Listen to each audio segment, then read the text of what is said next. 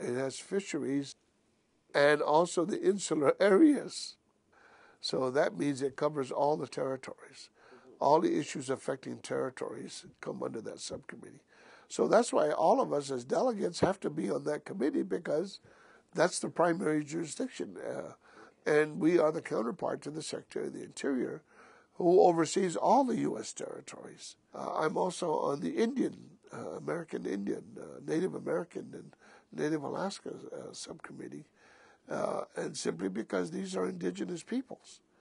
And uh, I've always expressed an interest in on the rights of of indigenous peoples throughout the world that I don't think have been given fair uh, uh, treatment, I, I, suppose you might put it in those terms.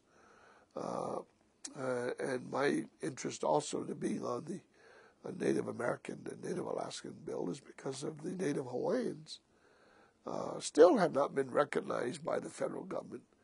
400,000 Native Hawaiians who are truly are an indigenous peoples under the U.S. government are not recognized by the federal government.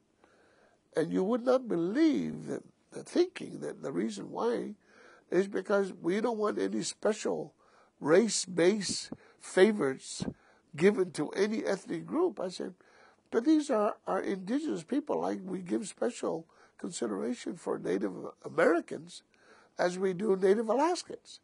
So the way I look at it, there are only three truly indigenous peoples living in this planet, in this country the Native American Indians, the Native Alaskans, and the Native Hawaiians.